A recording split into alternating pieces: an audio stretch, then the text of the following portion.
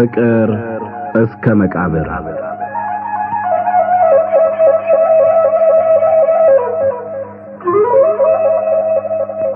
ደራሲ ሐዲስ ዓለማየሁ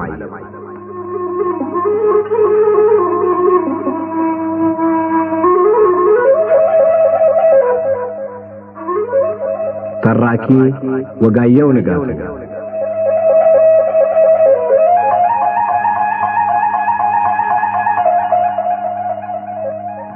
ፍቅር እስከ መቃብር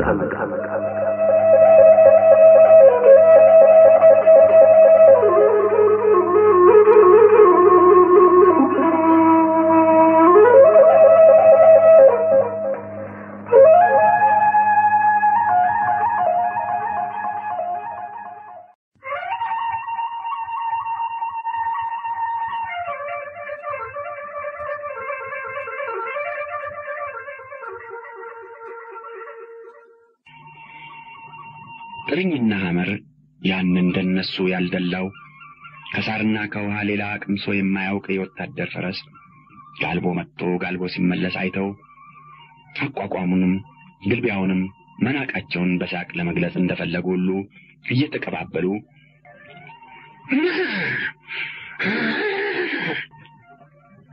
አሉና በፈንታቸው መጋለብ አብሯቸው ይንቆራጠጡ ጀመር።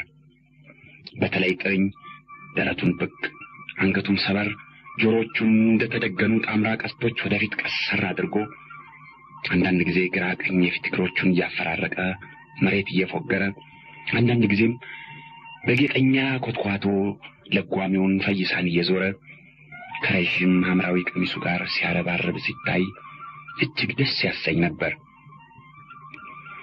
ፊታውራሪ የጥርኝን ሁኔታ ሲመለከቱ ደስ ብሏቸው እሷቸውም እንደተቀመጡ ቀኝና ግራ ይንቆራጠጡ ጀመር። ጥርኝን ወዲህ በል አንተ አሉ። በመጨረሻ የጥርኝ ሰልፍ ማሳመር ወኔያቸውን ቀሰቀሰውና ፈይሳ ጥርኝን እየሳበ ሲያቀርብ ቀሚሱን አንሳ አሉ። ለምን አለ ባልደራስ ዋጋዬ። ሞክረዋለሁ። የለም ጌታዬ፣ አደገኛ ነው ታዲያ ለግጥሚያው የማይሆን መሆኑን አሁን መሞከር አያስፈልግም። ስሞክረው እኮ ነው የሰነበትኩ። እስከ ማስወጣቱም ችግር ነው። ግድ የለም ቀሚሱን አንሳ አሉ ፊት አውራሪ ተነስተው። ባይሆን መጀመሪያ እኔ ልሞክረው አለ ባልደራስ ዋጋዬ። ይሻላል፣ እሱ መጀመሪያ ይሞክረው። አዎ እሱ መጀመሪያ ይሞክረው አሉ ዘመዶቻቸው እየተቀባበሉ። ደግ በል ሞክረው አሉ ፊት አውራሪ ቅር እያላቸው። ከዚያ ባልደራስ ዋጋዬ ቀሚሱን አስነስቶ በጌታው ግላስ እንዳይቀመጥ አጥፎ ዛብና ቀዳማ አጣምሮ በቀኙ ዳህራ በግራው ጨብጦ ገና እርካብ ሲረግጥ ጥርኝ ልጓም ባፉ እንዳልገባ ሁሉ ሽምጥ ግልቢያ ጀመረ። ባልደራስ ዋጋዬ እንዴት እንደወጣ ከመታየቱ በፊት እኮርቻው ላይ ተቀምጦ ታየ። ሽምጥ አይደለም ዋጋዬ፣ ደንገላሳ ነው። ደንገላሳ ሲሄደው አሉ ፊት አውራሪ ድምፃቸውን ከፍ አድርገው እየጮሁ የዳንግላሳን ግልቢያ ለማሳየት እንደ ሙዚቃ መሪ እጃቸውንም አንገታቸውንም ላይና ታች እያወዛወዙ። ነገር ግን የፊት አውራሪ መጮህም ቢሆን የዋጋዬ ትግል ጥርኝን ዳንግላሳ ሊያስኬደው አልቻለም። ዋጋዬ ልጓም በሁለት እጁ ይዞ በሙሉ ኃይሉ ወደታች ሲስብ ጥርኝ በሁለት የኋላ እግሮቹ ቀጥ ብሎ ይቆማል።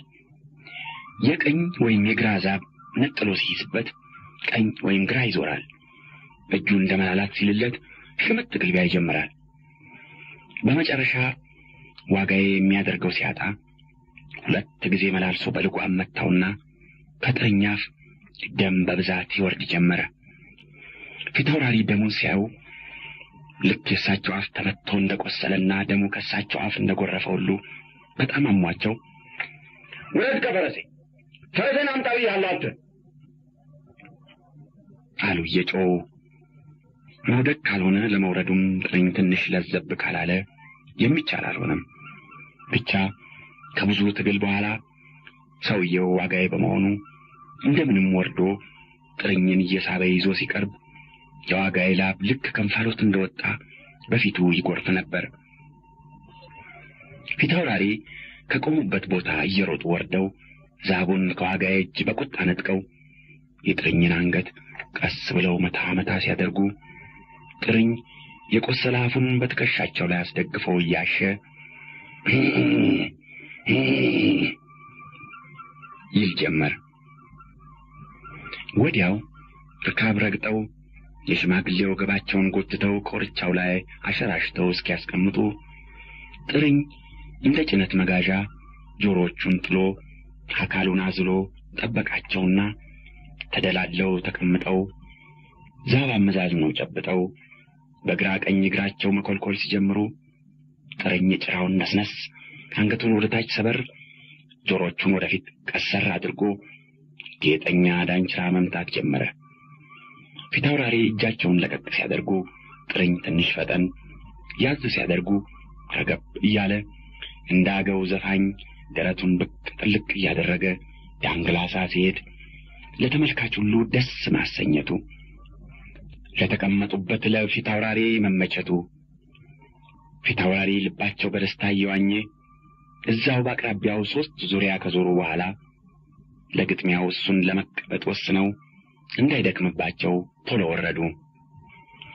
ጊዮርጊስ የተለመደ ቡራኬውን ነፍጓቸው፣ ቀበሮ ከቀኝ ወደ ግራ ቆርጧቸው፣ ሆድ ብሷቸው አለኝ የሚሉት ተስፋቸውን የሚያሳርፉበት አጥተው የነበሩት ፊታውራሪ የጥርኝን ፍቅር ሲያዩ ጥርኝ የእሳቸውን ፈቃድ ብቻ ለመፈጸም ለእሳቸው የቆመ መሆኑን ሲረዱ እንደገና የደስታና የተስፋ ስሜት ልባቸውን አሞቀው። እንደ ጊዮርጊስ ወዳጁን የማይከዳው ታማኙ ጥርኝ እንደገና ለልባቸው ተስፋ ሰጠው። ፊታውራሪ ወርደው የቆሰለ አፉን እያዩ አንገቱንም ግንባሩንም እየደባበሱ አይዞህ ጥርኝ፣ አይዞህ ጥርኝ ሲሉ ጥርኝም ግድ የለም እኔ ያለሁልህ አትስጋ እንደሚል ሁሉ አንገቱን ላይና ታች ቀና ደፋ እያደረገ ሲል ቆሞም ተቀምጦም ይመለከት የነበረ ሁሉ ተገረመ። ያ ምን ሕዝብ ነው ባካችሁ? ወይስ የሽማግሌ አይኔ ነው? አሉ ልጅ ዘለቀ አቋርጠው ወደ ሰሜን ምዕራብ እያመለከቱ። ከፊት አውራሪ መሸሻ ሰፈር ሰሜን ምዕራብ፣ ከፊት አውራሪ አሰጌ ሰፈር ሰሜን፣ ከቢቸና ወገን ካለው ጋራ ስር ቁጥር ስፍር የሌለው ሕዝብ ድንገት ታየ። ከርቀቱ የተነሳ የጉንዳን ሰራዊት እንጂ ሕዝብ አይመስልም ነበር።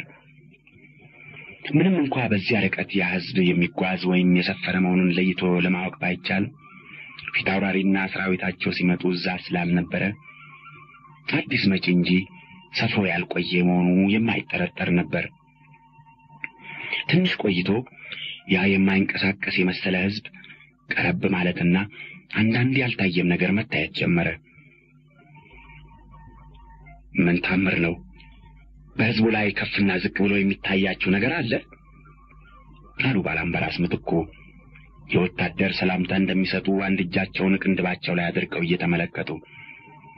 አሞራ በሕዝቡ ራስ ላይ ከፍና ዝቅ ብሎ የሚያንጃብብ ብዙ አሞራ ያለ ይመስላል አለ አንድ ወታደር። ያ አገር ምድር አልብሶ ቀስ እያለ የሚጓዝና በአሞራ የታጀበ ሕዝብ እየቀረበ እየቀረበ ሲመጣ በላዩ ከፍና ዝቅ ብሎ ያንጃብባል የተባለው ብዙ አሞራ ልዩ ልዩ ቀለም ያለው መሆኑ ተለይቶ ይታይ ጀመር። አሞራ አይደለም፣ ጃንጥላና ድባ ነው። በዚህ በኩል የሚወርድ ታቦት ነው አለ አንድ ወታደር። ታቦት ታቦት አለ ገርሞት ዝም ብሎ የነበረው ሰው ሁሉ እየተቀባበለ ከዚያ ከፊት አውራሪ መሸሻ ጋር ከነበረው ሕዝብ አንዳንዱ በሕልም ውስጥ ያለ መስሎት እንደነበረ፣ አንዳንዱ ደርሶ የማያውቅ ታምር የሚደርስ መስሎት ይጠብቅ እንደነበረ ታቦት መሆኑ ከተረጋገጠ በኋላ የምን ታቦት ወደ ምን ወንዝ እንደሚወርድ እስ በሱ እየተቸ ይንጫጫ ጀመር። እውነትም ታቦት የሚወርድበት ወንዝ በአቅራቢያው ስላልነበረና አንዳንድ ትናንሽ ምንጮችም ቢኖሩ ያን ያክል ሕዝብ የሚያጅበው ታቦት እዚያ ግድም መውረዱን አይቶም ሰምቶም የሚያውቅ ሰው ስላልነበረ ምስጢሩ ጨርሶ አልተፈታም። የታቦቱ ጉዞ የሚወስደውን ጊዜ ከወሰደ በኋላ ታቦቱና አጃቢው በጣም ቀረበ። ድባዎችና ጃንጥላዎች በየቀለማቸው ልብሰ ተክህኖ የለበሱት ካልለበሱት ተለይተው ለሽማግሌዎች ዓይን ሳይቀር መታየት፣ የከበሮ ድምፅ መሰማት ጀመረ። ታቦቱ በፊት አውራሪ አሰጌ ሰፈር አቅጣጫ ሲደርስ ሰፈሩን ወደ ቀኝ ትቶ ቀጥታ ወደ ደቡብ የሚሄድ ከመሰለ በኋላ እንደገና መለስ ብሎ ወደ ፊት አውራሪ መሸሻ ሰፈር አመራ። ወዲህ መምጣቱ ነው እንዴ? አሉ ልጅ እጅጉ። ቀኛዝማች አካሉ ትንሽ እንደ መሳቅ ብለው ሳቃቸው እንዳይታይባቸው ኩታቸውን ወደ አፍንጫቸው ገፋ አደረጉ። ፊት አውራሪ መሸሻ እስከዚያ ድረስ ሁሉ ጉዳያቸውን እንጂ ስለ ታቦቱ ሰው የሚተቸውን በሙሉ አይከታተሉም ነበር። ታቦቱን ያጀበው ሕዝብ እግዚኦ መሐረነ ክርስቶስ በእንተ ማርያም መሐረነ ክርስቶስ ሳሊ ለነ ማርያም ምሕረተ ወልድኪ ሐውፀነ እያለ በዜማ ምሕረት እየለመነ ይጓዝ ነበረ።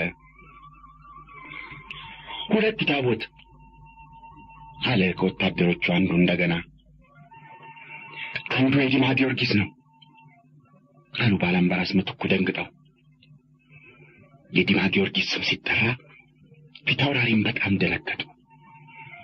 ያን ጊዜ ብቻ ሐሳባቸው በፊታቸው የተዘበበውን ጦርነት ማሰላሰል ለቀቅ አድርጎ ወደ ዲማ ጊዮርጊስ መለስ አለና እንደ መሸበር ብለው አምጣ ጠመንጃዬ ነው አሉ ፊታውራሪ። ጠመንጃቸውን ተቀብለው በትከሻቸው ሲይዙ መኳንንቱ ሁሉ ጠመንጃውን ከየጋሻ ጃግሬው እየተቀበለ ይዞ እንደ አውሬ አጥማጅ ቀስ ብለው ወደ ፊት አውራሪ ሰፈር የሚያዘግሙትን ሁለት ታቦቶች ይጠብቅ ጀመረ። የዲማ ጊዮርጊስ ገዳም በመሆኑ ድንግላዊ መነኩሴ ተሸክመውት፣ የቢቸና ጊዮርጊስ ደብር በመሆኑ ቄስ ተሸክመውት፣ የዲማ መምህር በዲማ ጊዮርጊስ ግራ፣ የቢቸና አለቃ በቢቸና ጊዮርጊስ ግራ ሆነው የሁለቱን ታቦቶች ልብሰ ተክህኖ የለበሱ ካህናት በየቦታቸው ፊት ተሰልፈው የዲማ ገዳምና የቢቸና ደብር ካህናት ብቻ ሳይሆኑ በአካባቢው ያሉ የገጠሮች ካህናትና ለበዓሉ የተሰበሰበው ቤተ ክርስቲያን ሳሚ ሁሉ በኋላ ተከትሎ ፈረስ ሜዳ ጠቦት ሁሉም አንድ ላይ እግዚኦ እያለ መጥቶ የፊት አውራሪ መሸሻ ፊት ሲደርስ ቆመ። ከዚያ የፊት አውራሪ ያሰጌ ሰራዊት በኋላ ተከትሎ መጣ። ወዲያው የዲማ ጊዮርጊስ መምህር አለቃ ጡመ ልሳን ነጠል ብለው ሁለት ሦስት እርምጃ ወደፊት ተራምደው ቆመው ይማረን ወይስሃለን ይቀበን ወይ ተማሐፀንን እግዚአብሔር ለበደለ ምሕረቱን ለታመመ መድኃኒቱን ይስጥልን እግዚአብሔር። ወንድማችን ፊት አውራሪ መሸሻ ዛሬ ጊዮርጊስ ከሩቅም ከቅርብም በደጁ የሚሰበሰቡትን ምዕመናን በሚቀበልበትና የምዕመናኑን ልመና ይዞ ወደ ፈጣሪ ፊት በሚቀርብበት የዓመት በዓሉ እርሶን በደለኛውን እርሶን እንደ አባቶ እንደ አዳም የፈጣሪን ሥልጣን ለመካፈል ታጥቀው የተነሱትን ጥፋተኛ ተከትሎ ፈረስ ሜዳ ድረስ መምጣቱ ይገርሞ ይሆናል።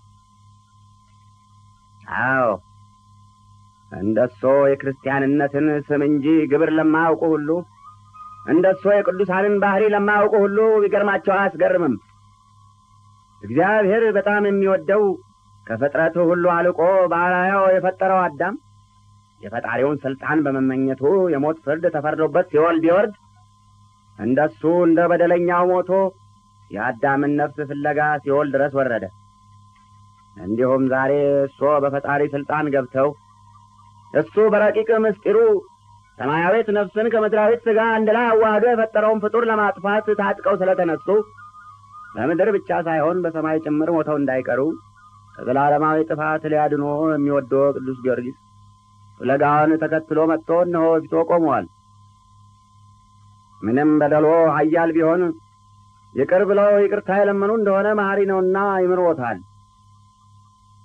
ብለው ወደ ነበሩበት ተመለሱ።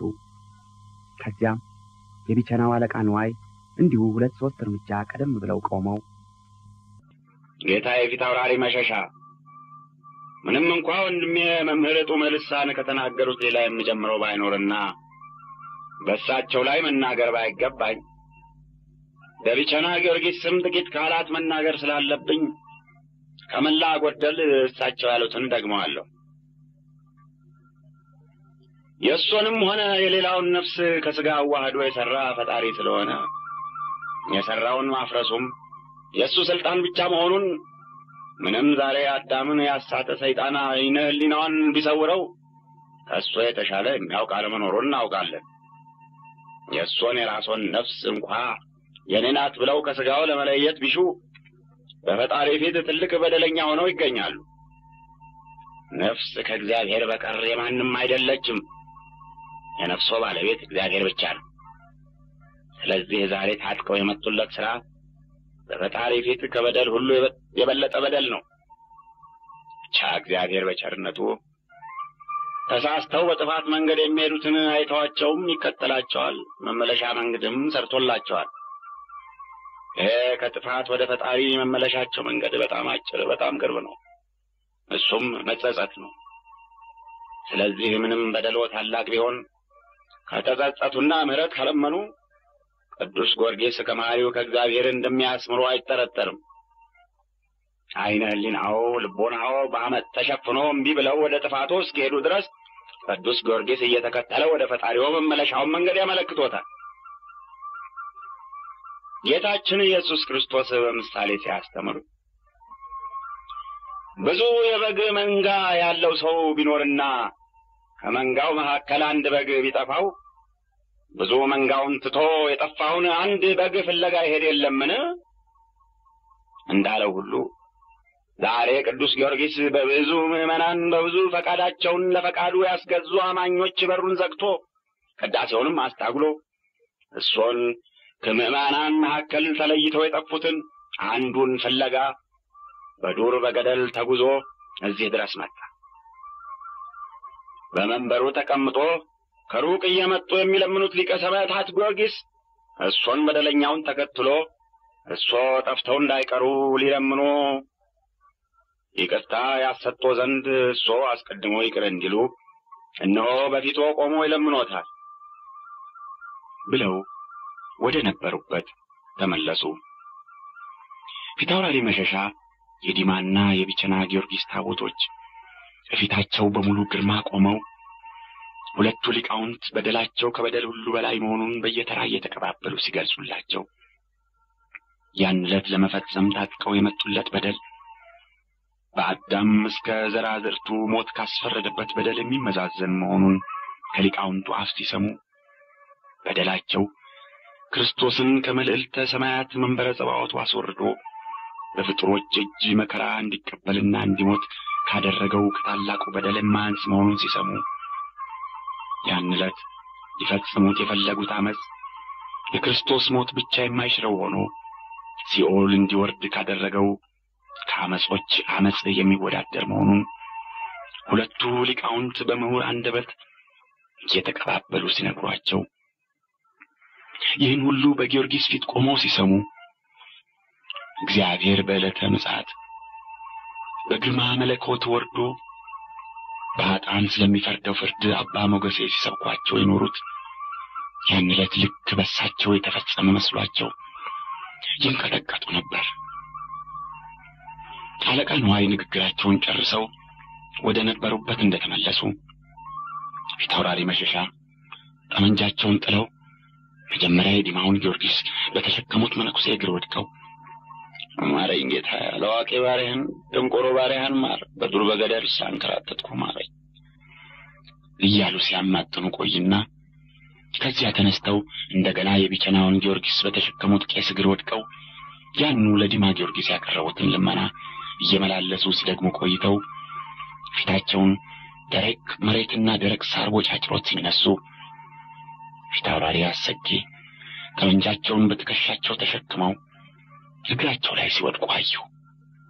ተቀበለው፣ ተቀበለው፣ ጠመንጃውን ተቀበለው አሉና ፊታውራሪ መሸሻ ዝቅ ብለው ፊታውራሪ አሰጌን ከወደቁበት አንስተው ሳሟቸው።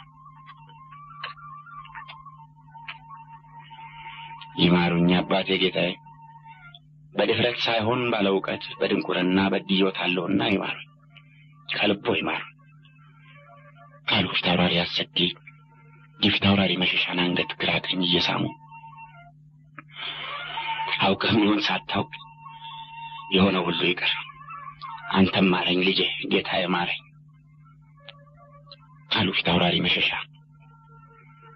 ከዚያ የዲማና የቢቸና ጊዮርጊስ ታቦቶች አንድ ላይ ፊታውራሪ መሸሻና ፊታውራሪ አሰጌጥ መንጃቸውን ይዘው በታቦቶቹ ፊት አንድ ላይ ቆመው ሁለቱም ታቦቶቹና ሁለቱም ፊታውራሪዎች ያጀበው ሕዝብ ፈረስ ሜዳን ሞልቶ መምህር መልሳን ካሳረጉ በኋላ ካህናቱን ሴብሖ በማለት ሕዝቡ በእልልታና በጭብጨባ ደስታውን ገልጾ ፊታውራሪ መሸሻ የድማ ጊዮርጊስን፣ ፊታውራሪ አሰጌ የቢቸና ጊዮርጊስን አጅበው ወደ የሀገራቸው ተመለሱ።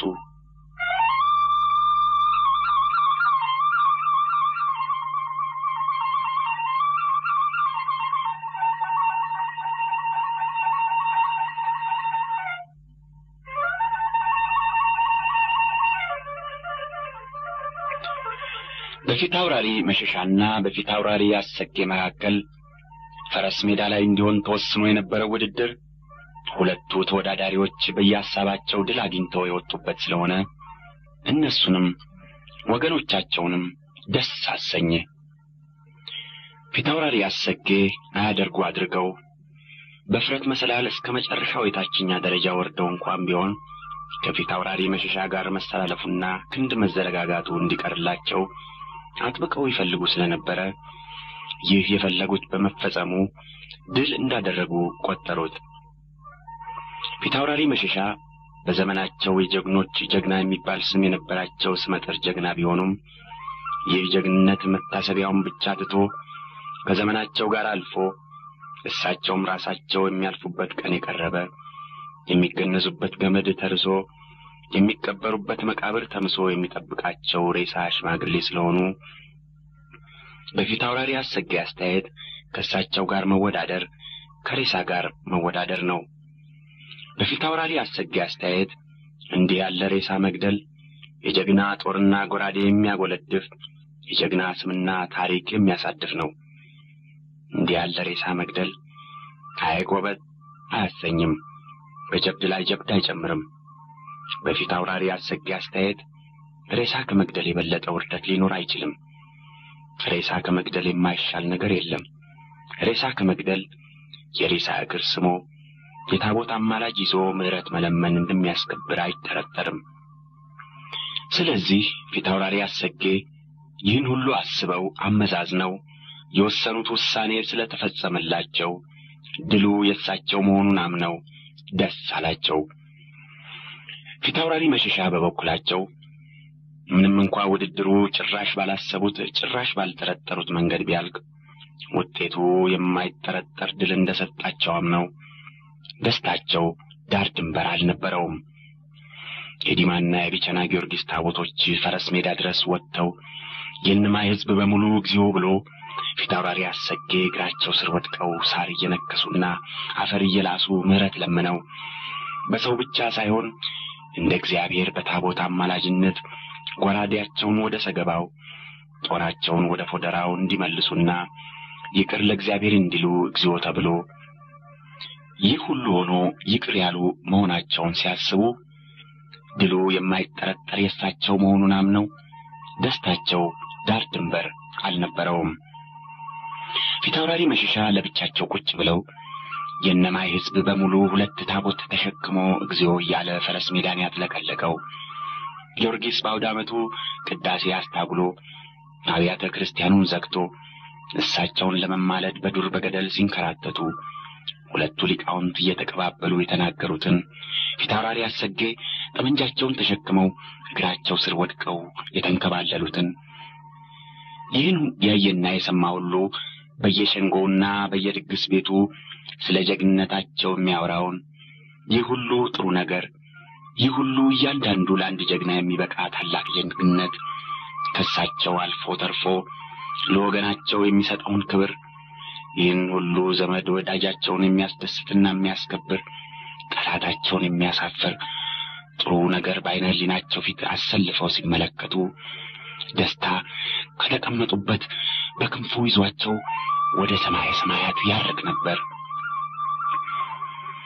ከዚያ ፊታውራሪ መሸሻ ፊታውራሪ አሰጌን እፋለማለሁ ብለው ሲወስኑ ዘመድ ወዳጅ ሁሉ የለመናቸውን በመጨረሻው ቀን ሚስታቸውና ልጃቸው እንባቸውን እያጎረፉ ሲሰናበቷቸው ትንሽ ያመነቱትን ያስታውሱና ለብቻቸው እንደ መሳቅ ብለው ያን ጊዜ ልመናውን እንዳልሰማ ልቅሶውን እንዳላይ ጆሮዬን ደፍኛ ዓይኔን ጨፍኜ ወደፊት ባልሄድ የጥሩዬንና የሰብለን የእምባ ጎርፍ ተሻግሬ ባልሄድ ይሄ ክብር ይገኝ ኖሯል። ክብር ለደፋርና ለቆራጥ እንጂ ለፈሪና ላመንጭ ሆነ አታውቅም ይሉ ነበር አባቴ። ግድ የለም ለወደፊቱ ማንም ከሚለው እኔ ያልሁት የሚሻል ለመሆኑ ይህ የማያዳግም ማስረጃ ይሆናል ይላሉ። ይህም ባይሆን ቅሉ ፈረስ ሜዳ የተገኘው ድል በአጋጣሚ የተገኘ ቢሆንም ኖሮ ዞሮ ዞሮ የተገኘው ክብር በእሳቸው ጥላ ለሚኖር ሁሉ ለዘመድ ለወዳጅ ሁሉ የሚተርፍ ስለሆነ በፊት አውራሪ አስተያየት የእሳቸው ወገን ነኝ የሚል ሁሉ እንደ ታላቅ ባለውለታ እንደ ታዳጊ ሊቆጥራቸውና ሊወዳቸው ሊያከብራቸው ፈቃዳቸውን ያለ ሊፈጽም የሚገባው መሆኑ አይጠረጠርም። የሚናገሩትን የሚያስተሐቅር የሚያዙትን የማይፈጽም ቢኖር እንዲህ ያለው ሰው በእሳቸው አስተያየት ዋጋ መክፈል እንደማይችል እንደ ውለታ ቢስ ሊቆጠር የሚገባው ነበር።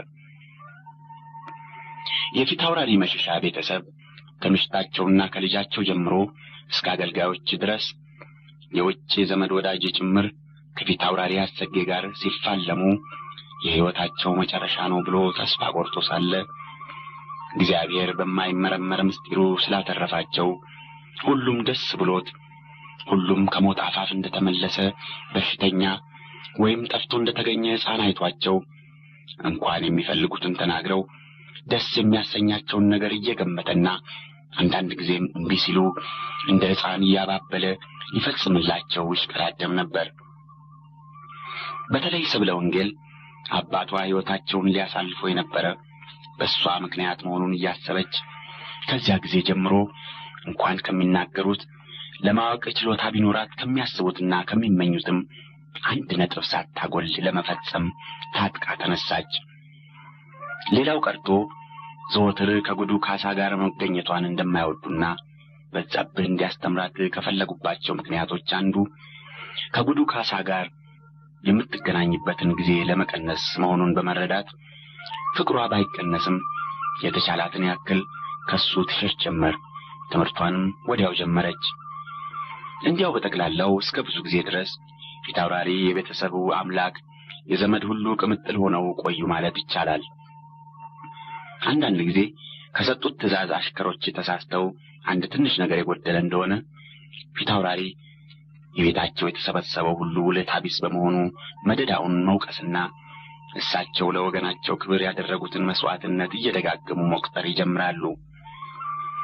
ዓመት ሁለት ዓመት አልሆነውም እኮ ትናንትና እኮ ነው ለእናንተ ብዬ ለወገኔ ብዬ አንገቴን ለስለት ደረቴን ልሰጥ የጦር ሜዳ ሄጄ የተሰለፉት። ሕይወቱን ለወገኑ የሚያሳልፍ ከክርስቶስ በቀር ማን ነው? ሁሉም እዚህ ተሰብስቦ ሲያለቅስ እኔ መሸሻ ነኝ። እንደ ክርስቶስ ሕይወቴን ለወገኔ መሥዋዕት አድርጌ ያቀረቡ ታዲያ ያደረግኩት ሁሉ የሚመለስልኝ ዋጋ ይሄ ነው? ግድ የለም እዚያ ላይ ያገኘዋለሁ ሲሉ ፊት አውራሪ ዋጋቸውን የሚያገኙበትን ወደ ላይ በእጃቸው እያመለከቱ ምሽታቸውም ዘመዶቻቸውም ራሳቸውን መውቀስና ፊት አውራሪን ማባበል ይጀምራሉ። ፊት አውራሪም ትንሽ ተለማምነው ይቅር ይላሉ። ውሃ በቀጠነ ሲበሳጩና ቤተሰቡ ሲጨነቅ ያይና አባ ማሞ እያለ ይስቅባቸዋል። ወይም የሚናገሩትም ሆነ የሚያደርጉት ከመንገድ የወጣ ሲሆን ይቃወማቸዋል። ብቻ ደግነቱ ፊት አውራሪ ባህሪውን ስለሚያውቁ እሱ ቢቃወማቸውም አንዳንድ ጊዜ ቢሰድባቸውም እንኳ ይስቃሉ እንጂ አይቀየሙም። አንድ ቀን ዘመድ ተሰብስቦ ጠጅ እየተጠጣ እንደ መሰንበቻው የህዳር ጊዮርጊስ ፈረስ ሜዳ የሆነው ታምር ሲወራ ወይፈንና ባላገር ከባድ ዛዝላ ካልጫኑት ልክ አይገባ አሉ ፊት አውራሪ። እንዴት አሉ ባላምበራስ ምትኩ። ከጎንቻ ጉልቴ የመጡትን ባላገሮች አታይም? አንድ የበግ ግልገል እንኳ ሳይዙ ባዶ እጃቸውን እንኳን ደስ ያለ ሊሉኝ መጡ። ምክንያቱ ሸክማቸውን ስላቀለልሁላቸው ነው። እኔ ገዢ፣ እነሱ ተገዢ መሆናቸውን እንዲያውቁ ባደርጋቸው፣ ሸክማቸውን ትንሽ ከበድ ባደርግባቸው እንዲህ ባልተጫወቱብኝ ነበር። እግዚአብሔር ስላወጣህልና የመጣህን አሉኝ። እነሱን አመዳም ፊት ማየት ለእኔ ክብር እንደሚሰጠኝ ሁሉ የለም እኔ መሸሻ መግዛት ማወቄን አሳያቸዋለሁ አሉ ፊት አውራሪ በጣም ተቆጥተው። እኔ ቀድሞ ስለተቆጣኋቸው ጥፋታቸው ተሰምቷቸው አገሩ አዋጥቶ አንድ ሰንጋ ገዝቶ እንዲልክ ከመካከላቸው አንድ ሰው ሰደዋል። ባላገር ማጥፋቱ ጌታ ምሕረት መስጠቱ የተለመደ ነውና አይማሯቸው አሉ ቄስ ሞገሴ። እንዲህ መጥተው የኔን የሞኙን እንጀራ በልተው ይሄዳሉ እንጂ ለምን ገንዘባቸውን ያወጣሉ? አሉ ፊት አውራሪ ባሽሙር። አይደለም እኒህ ባላገሮች በእርሶ ጉልት ስለሰፈሩ ገመታ ይከፍሉሎታል። ከዚህም በላይ ስራቸውን ፈተው የአንድ ቀን መንገድ ተጉዘው እሶን እንኳን ደስ ያለው ለማለት እዚህ ድረስ መጡ። አሁን ይህ ሁሉ አልበቃ ብሎ ነው እርሶን ደስ ስላለው ሰንጋ የሚከፍሉ? እግዚአብሔር ይህን ግፍ ሲያይ መዓት አያወርድም አለ ጉዱ ካሳ። አንተን የጠየቀ የለም ዝም በል አሉ ፊት አውራሪ። ድሮስ ማን ጠይቆኝ ተናግሬ ያውቃለሁ? እንዲሁ ጣልቃ ገብቼ እናገራለሁ እንጂ እናንተ እስክትጠይቁኝ ከቆየውማ ታፍኜ መሞቴ ነው አለ ጉዱ ካሳ እየሳቀ። ወየው ጉድ! ምን አፍኖ ይገላል? አሉ ፊት አውራሪ። እሳቸውም በበኩላቸው ትንሽ እንደ መሳቅ ብለው ከአንድ ወገን እናንተ እንደ እብድ እንደ ጉድ ቆጥራችሁኝ የማትጠይቁኝ ስትሆኑ ከሌላ ወገን እኔ ሳልጠየቅ አልናገር ብዬ ዝም ስል ተዘግቼ ኖርኩ ማለት አይደለም። እሺ ደህና ነው። አሁን አንተም ተናግረሃል፣ እኛም ሰምተናል። እንግዲህ ዝም በል አሉ ፊት አውራሪ። ለጠየቅኮ መልስ ይስጡኝና ዝም እላለሁ። ለምኑ? እርሶን ደስ ስላለው ባላገሮች ሰንጋ የሚከፍሉበትን ምክንያት። እባክህ ዝም ይልቅ ሌላ የሚጥም ጨዋታ እንጫወትበት። ጎንቻ ስለ ፈረስ ሜዳ ውድድር የሚዘፈነውንና የሚገጠመውን ግጥም ሰምታችኋል አሉ ባላምበራስ ምትኩ አቋርጠው። የለም አልሰማንም። ምን ተባለ እባክህ? አሉ ፊት አውራሪ ከመከዳቸው ቀና ብለው ተቀምጠው። ፊት አውራሪ ከማናቸውም ጨዋታ የፈረስ ሜዳ ጨዋታ ይጥማቸው ነበር። የጎንቻ ባላገሮች ያሉትን ሁሉ በቃሌ ማስታወስ አልችልም። ብቻ ዘፈኑ፣ ግጥሙ እንዲህ አይደለም አሉ። በመጀመሪያ የፊት አውራሪ አሰጌን ስም እየጠሩ የሚያዋረድ ግጥም የገጠሙት ሁለት ወይም ሶስት ሰዎች ሲታሰሩ ጊዜ ከዚያ በኋላ ህዝቡ ስም ሳይጠራ በምሳሌ ግጥም ይገጥም ጀመር አሉ አሉ ባላምበራስ። በሞት ያፈርሶ ምን ይባላል አሉ እባክህ አሉ ፊት አውራሪ በጎንቻ ስለ እሳቸው ጀግንነት የሚባለውን ለመስማት ናፍቀው። እኔ ስንቱን አስታውሰዋለሁ ጌታዬ። ከባላገሮቹ አንዱ ቢጠራ ሊነግረን ይችላል። የጎንቻን ባላገሮች ጥራ አንተ አሉ ፊት አውራሪ በጎንቻ የሚባለውን እስኪሰሙ በጣም ቸኩለው።